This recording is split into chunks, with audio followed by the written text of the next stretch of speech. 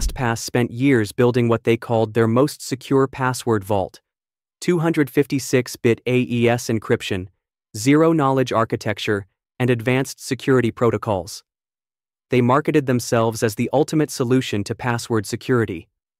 Then, in 2022, hackers breached their systems and accessed encrypted password vaults belonging to 25 million users. Facebook requires complex passwords with numbers, symbols, and capital letters. Twitter pushes two factor authentication. Apple relies on Face ID and Touch ID. Major companies invest billions in password security systems. Yet professional hackers routinely crack complex passwords in hours, not years. That random string of characters you're proud of? It might already be compromised from a breach you haven't heard about. Your birthday based password? It's likely cracked faster than you can type it.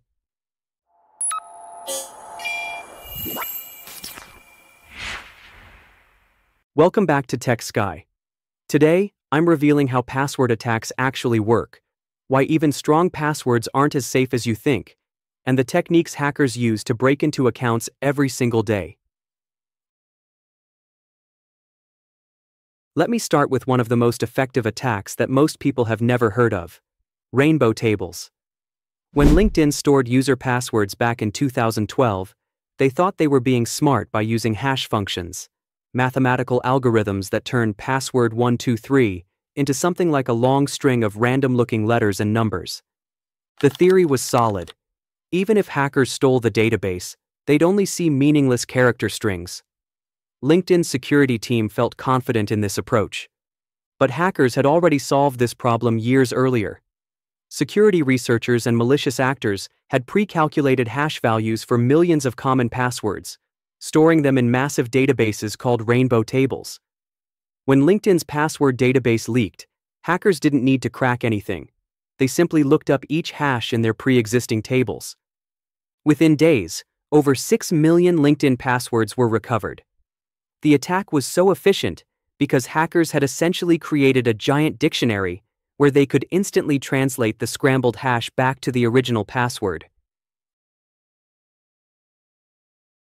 Here's something that might surprise you. Most people are incredibly predictable when creating passwords. Hackers know this, and they exploit our psychological patterns ruthlessly. Dictionary attacks don't just use regular dictionaries. Modern hackers compile lists of billions of real passwords from previous data breaches. They analyze patterns, how people modify common words, which numbers they add, where they place special characters. For example, if your password is Sunshine 2023 with an exclamation mark, you might think it's clever.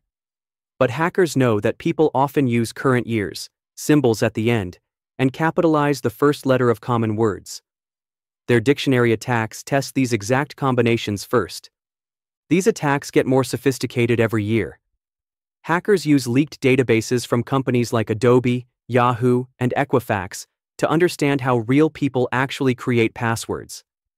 They've discovered that most people follow predictable rules, substituting the at symbol for the letter A, using the number 3 instead of the letter E, adding the current year, or appending their birth year.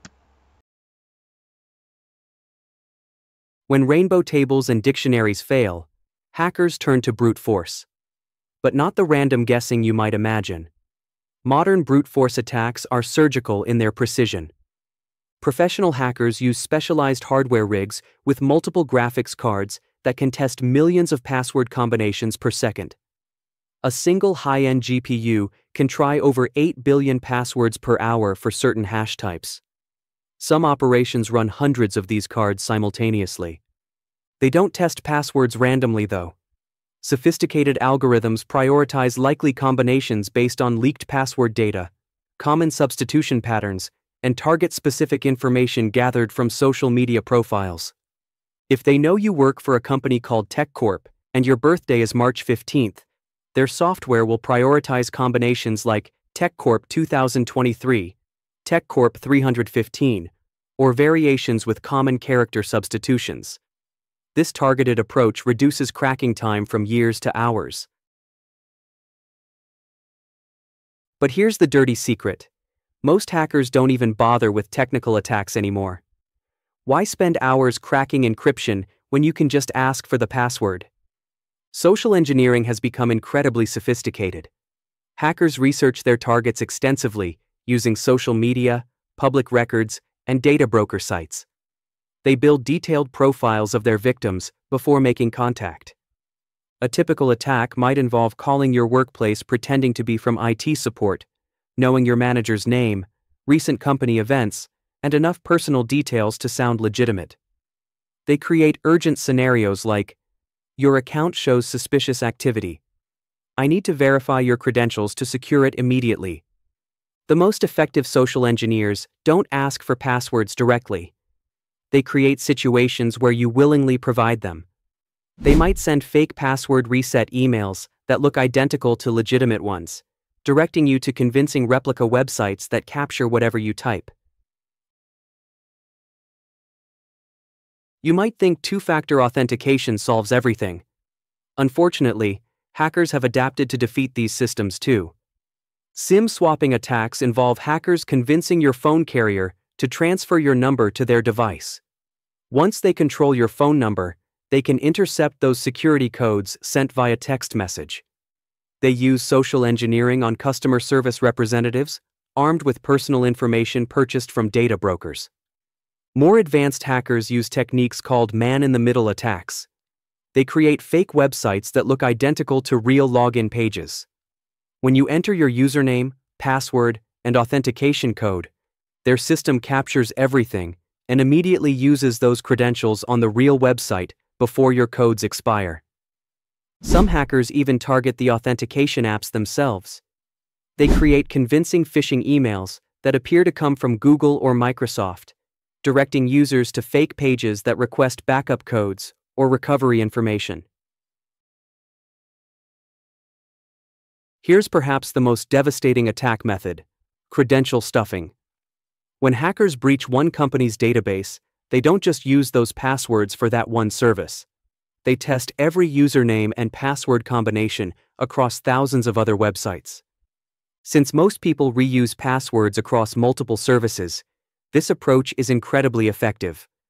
If your Netflix password gets leaked, hackers will automatically test that same combination on your bank, email, social media, and shopping accounts. Automated tools can test stolen credentials across hundreds of websites simultaneously. These attacks succeed because they exploit human behavior, not technical vulnerabilities. Even if each individual website has strong security, your password reuse creates a chain that's only as strong as the weakest link. Major websites detect and block these attacks to some degree, but hackers use rotating IP addresses, proxy networks, and timing variations to avoid detection systems. Professional hackers targeting high value individuals or organizations use what's called advanced persistent threats. These aren't quick smash and grab operations. They're patient, methodical campaigns that can take months. They start with reconnaissance, gathering every piece of public information about their targets. They identify which services you use, who you communicate with, and what your digital habits look like. They might compromise your friends' accounts first to send you convincing messages. These attackers often plant malware on your devices through carefully crafted emails or compromised websites you trust. Once inside your system, they can capture every keystroke, including passwords you type. Some malware even takes screenshots whenever you visit banking or email websites. The most sophisticated attacks involve creating entirely fake personas and building relationships with targets over time. They might pose as potential business partners, romantic interests, or helpful technical support representatives, slowly building trust before making their move. Companies love promoting complex password requirements like use 12 characters with uppercase, lowercase, numbers, and symbols. But complexity alone doesn't guarantee security. Hackers have adapted their techniques to account for these requirements. They know most people will capitalize the first letter, add numbers at the end, and use common symbols like exclamation points. Their attacking software tests these patterns extensively. Length matters more than complexity, but even long passwords aren't safe if they're based on predictable patterns or contain dictionary words. A 16 character password like I love my dog, numbers 1 to 6 with an exclamation mark might seem strong, but it follows human patterns that advanced cracking algorithms can detect. Password strength also depends heavily on how the receiving system stores and protects them. Even the strongest password becomes useless if the company uses weak hashing algorithms or stores passwords in plain text, which happens more often than you'd expect. Behind every major password attack isn't just one hacker working alone. There's an entire underground economy with specialized roles and sophisticated distribution networks. Some hackers focus exclusively on gathering credentials through breaches or social engineering.